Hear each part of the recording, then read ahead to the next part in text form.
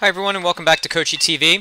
In this video we're going to do a breakdown of Bryanna Rivers in the 800 meters as she uh, finished second in our state meet. Um, we just did a race breakdown also of Bryanna from her regional championship performance. If you missed that video I recommend watching that one also. It's in the description down below. I'm Kyle LoJacono. I'm the head boys cross country and track coach at Wharton High School in Tampa, Florida, and I have been for the last six years. If you want a closer look at my credentials, they are on the screen. So the 800, just look a little bit at the metrics before we look at this race itself. So this race, so many things can happen in an 800 meters. It's that break point between sprinting and distance racing. So there's not one true predictor of who's going to win the 800 meters. So the only way you can really have the best predictor of who's going to win it is who has the best combination of their fastest aerobic pace, which is VO2 max, over somebody's running economy, which is more of your overall aerobic development.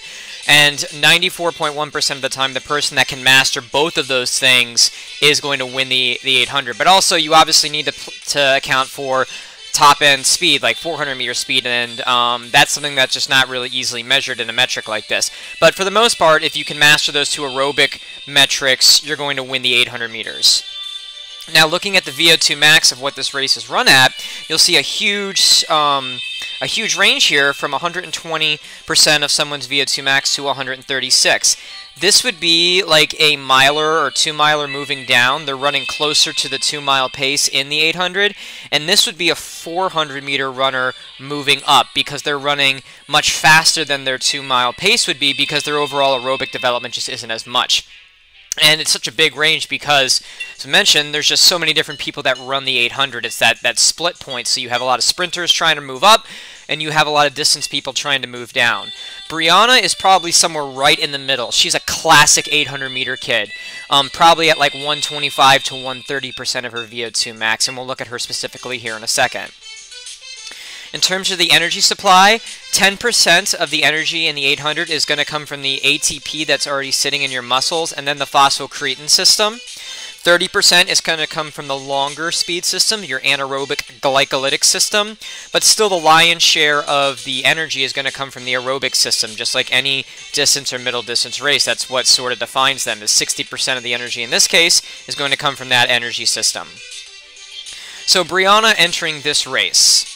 She's the number two seed in this this meet based on regional times, but if you really look at season best time, she was the number four seed. Two of the kids who actually had season best times are in our own region, and if you missed our video where we broke down her regional championship where she held off those two young ladies, it's in the description down below. It's really an interesting look at um, a close victory. I would really recommend taking a look at that video also.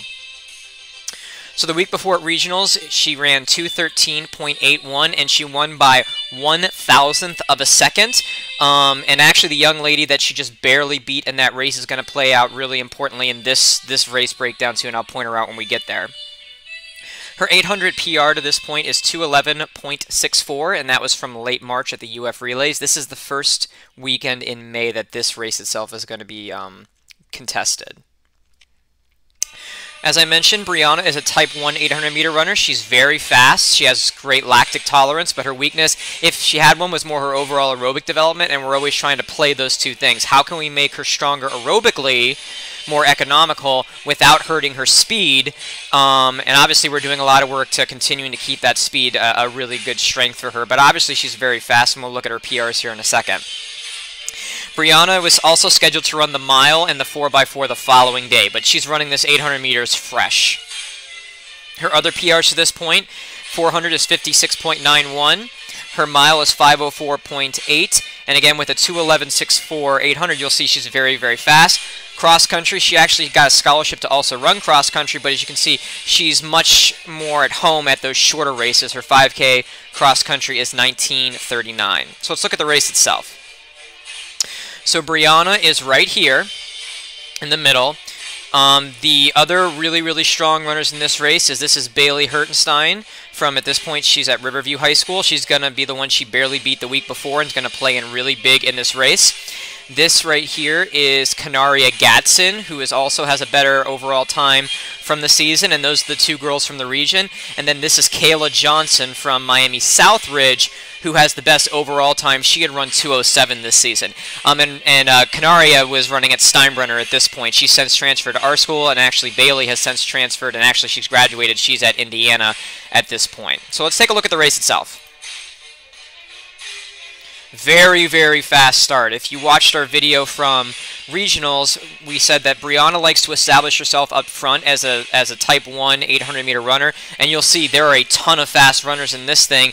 Bryanna is not at the front of the pack like she normally is because there's so many fast people, and you'll see how things are separating. These kids at the back of the pack are probably more Type 2 that are more comfortable in the longer races. Now, Bryanna is in this mess of people right here. So she's in like maybe fifth or sixth place, and she's all the way out in like lane two. I'm actually watching it from this general side, so I remember her being way, way outside at this point because there are so many people, and that's important as we get to this 200, is she's going to need to manage her position so she's not running more distance needlessly. Here are the three girls from the same region that I pointed out before, and then this is Kayla Johnson, who had the number one overall seed time. As we get to this fourth hundred, Bryanna's going to stay outside and try and make a move on some of these kids that maybe went out a little bit too fast or just don't have the strength to hold on. And Bailey is going to actually also make a move on the outside, and I'm really happy that she also did because Bryanna decided to go with her. Right here, they're right next to each other. Bailey starts to make a move, and Bree just sort of slides with her. And they kind of clear all of this to where then they can slide on the inside and start to move on Kayla Johnson, who is way out front at this point, probably about 30 meters. She's the fastest overall kid in this race, and let's see this last lap play out. So Bailey starts to move here from 350. Bree probably waits a little bit until more like 300, and then Bryanna really locks in. And we'll see at this point, these are the four kids, as I mentioned, that are the top kids in this race. You've got Kayla Johnson, you've got Bailey Hertenstein, you've got Bryanna Rivers, and you've got Canaria Gadsden that have separated from this field. And when Bryanna locks in here, she really just turns on the jets from 300 and does not hold back. You see she starts to move, starts to move. Bailey's also moving quite a bit, and you can see Kayla Johnson used a lot of her gas at the beginning of this race because she's such a fast Type 1 runner. Bailey and Bree being a little bit stronger, Bailey being much, much stronger, she's a three-time state cross-country championship, have a lot to go in this tank, and we'll see how this last 150 plays out.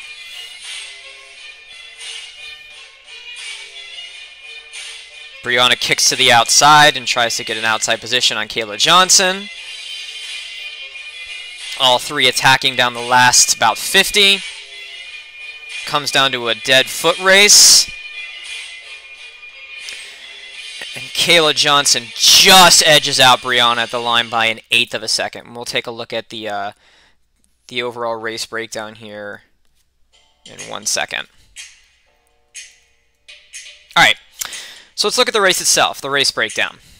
Lots of Type 1 runners were in this race, so Brie really couldn't establish herself up front the way she normally does and slide inside. So she was out in lane 2 on the 200, tightly packed race, had to use a lot more energy than maybe Kayla Johnson, who went way, way out and cleared the, the whole mess and got to move inside. So she had to do a little bit more work at that point because there's so many Type 1 fast runners. She stayed outside on the fourth 100, which was really key because it allowed her to really pass up a lot of those kids that were starting to slow up as the first lap and really moved with Bailey as they both started to pass people. Kayla Johnson from Miami Southridge is way out in front. She split 61 on the first lap and was ahead by about maybe 25-30 meters on the field. Final 300, Bryanna just fully locked in as you saw and attacked and used her, her combination of strength and speed and very, very nearly had enough to overcome Kayla Johnson on the last 100. As I mentioned, it was 0.12 of a second, which is about an eighth of a second, um, that separated these two young ladies. The overall race breakdown, Bryanna ran 210.51 for second place. Her first 200 was in 29 seconds, which was her fastest of the race. First lap in 63 and second lap in 67, which is exactly the way you'd want to run an 800. Very close splits here, um, but you're not going to reverse split an 800 if you're really doing it um, at, at, to your full uh, capabilities just because of the way the race is. So, fantastic um, state uh, state meet here. A lot of great, great runners as you saw um, from how tight it was here at the end. Um, and uh, you know, I've got a couple more races here from Bryanna that I'll be uh, I'll be showing here in the next little bit. If you missed our video of her her race breakdown from her regional championship, check it out in the description down below. If you like this uh, video, please think about liking or subscribing to the channel. If you have any comments or questions, please please ask them in the uh, the comments down below. And until next time, this has been Coachy TV.